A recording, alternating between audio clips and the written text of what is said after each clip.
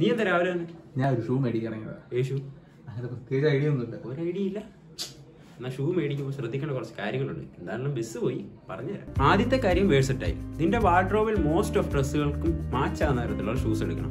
Especially plain black and white and one quality എന്താണേലും പൈസ മുടക്കുവാണ്.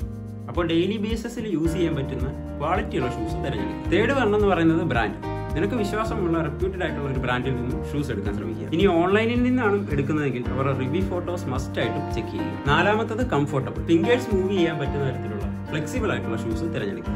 അഞ്ചാമത്തെന്ന് പറയുന്നത് ഒക്കേഷൻ ഏതൊരു ഒക്കേഷനിലും യൂസ് ചെയ്യാൻ പറ്റുന്ന ഷൂസ് തിരഞ്ഞെടുക്കുക. കാരണം ഷൂസ് എന്ന് പറയുന്നത് എല്ലാവരും ശ്രദ്ധിക്കുന്ന ഒന്നാണ്. എന്നാൽ ഷൂ മേടിക്കാൻ പോയാലോ?